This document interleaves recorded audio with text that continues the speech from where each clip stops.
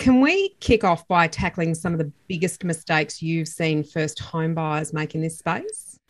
Yeah, so the biggest mistakes are not knowing what they're buying or thinking that everything will cost like a small amount of money. So there's a few things that um, we need to consider when someone goes to buy their first house. Often they'll they'll be priced out of the upper end of the market, so they're looking for that kind of smaller house or that house that they can live with that they're going to add value with over time.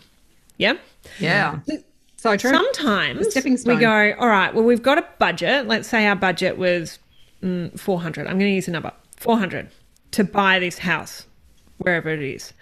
And you're like, okay, well, if I buy something a bit cheaper, I'll still have that money to renovate if you can mm. go under the budget.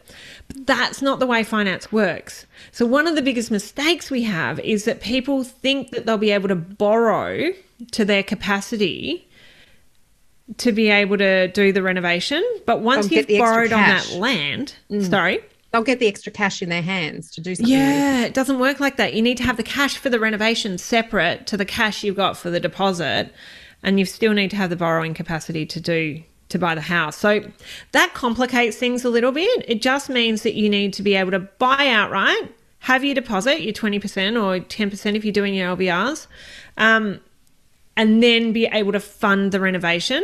Maybe over time, maybe all at once, but they're they're two different things. I love the fact Good that advice. you kicked off with that as the biggest mistake because you know you could be tempted to go oh they buy a house with bad bones or they buy a house that you know the council won't let them do the renovation or yeah. whatever but you've actually said the biggest mistake and i see this too we see this uh, as well is that if you've got you think your budget's 500000 you think that includes renovating costs and it isn't because the banks don't love to lend money for renovations particularly mm-hmm. if you already owe a huge proportion you know you're in lvr territory.